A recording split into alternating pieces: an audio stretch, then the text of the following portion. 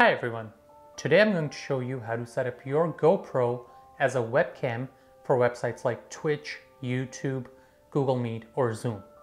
I'll talk a bit more towards the end, so hope you'll stick around, but first let's get to the tutorial. Begin by going to gopro.com slash webcam. Download the utility tool. It is available for both Mac and Windows. It may prompt you to restart your PC as you install it.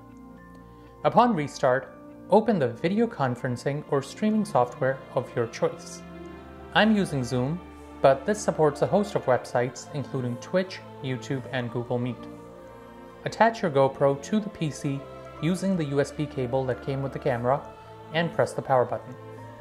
If the GoPro doesn't automatically detect USB mode, you may need to press the mode button on the side of the camera.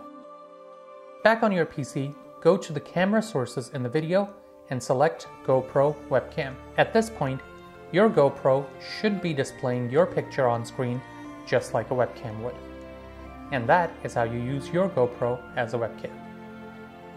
So that's it. This is a great way to repurpose your existing GoPro as a webcam as it looks a lot nicer than a lot of the budget webcams on the market. If you found this video helpful, consider liking and subscribing, and if you would like to chat or have any questions, do leave a comment below. I want to thank the Pepper Pals who stuck around until the end, and as always, this is Abdurrahman Siddiqui, aka Pakistani Pepper, saying peace out, stay peppery, and don't forget, sometimes life's best lessons are in the stories we hear least. Have an awesome day, guys.